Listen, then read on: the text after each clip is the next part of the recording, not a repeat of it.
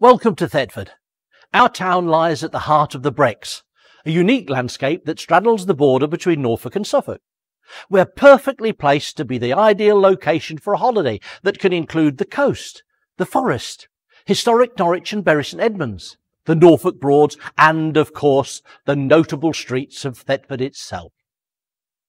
Surrounded by England's largest lowland forest, which is around 25,000 football pitches worth of woodland, Thetford is home to two rivers, multiple sites of special scientific interest, three museums, the ancient house, Charles Burrell and Dad's Army, and three statues, Thomas Paine, Duleep Singh and Captain Mainwaring.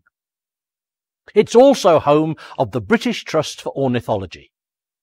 The Brecks are England's driest region. The local heathland is home to species that you simply don't find anywhere else. Birds such as the woodlark and stone curlew, and threatened plants such as spiked speedwell and Spanish catchfly. You'll also find the only Neolithic flint mine open to visitors in the country at Grimes Graves, marking the Breck status as the flint capital of Britain.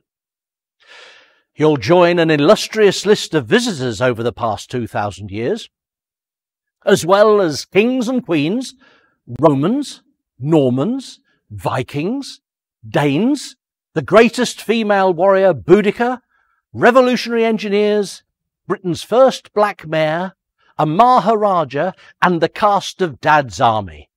What are you waiting for? Discover more from us here and online at Leaping Hares Everything Thetford. Let's leap into Thetford!